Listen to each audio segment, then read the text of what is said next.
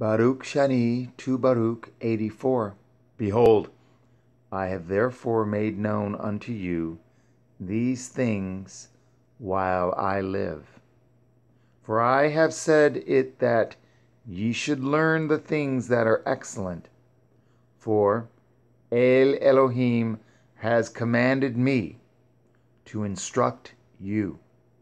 And I will set before you some of the commandments of his judgment before I die.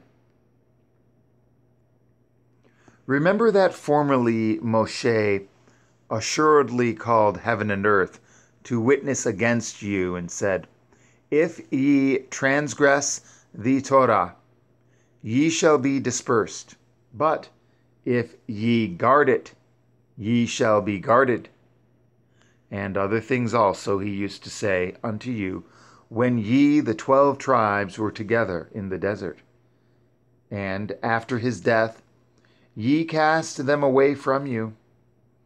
On this account there came upon you what had been predicted. And now Moshe used to tell you before they befell on you, and lo, they have befallen you. For you have forsaken the Torah.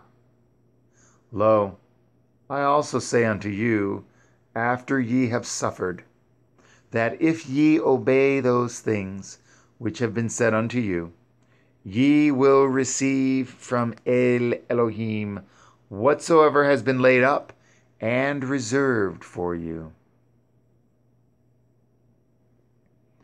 Moreover, let this Sefer be for a testimony between me and you that ye may remember the commandments of El Elohim, and that also there may be to me a defense in the presence of him who sent me.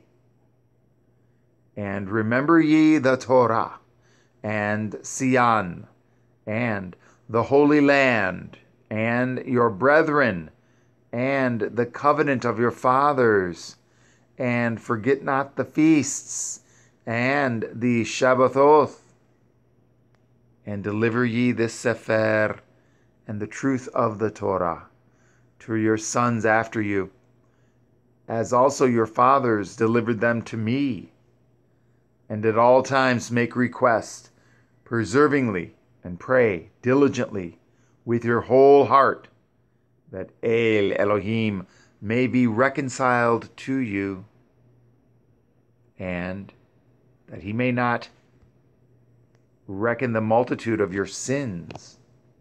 But remember the rectitude of your fathers. For if he judge us not according to the multitude of his mercies, woe unto all us who are born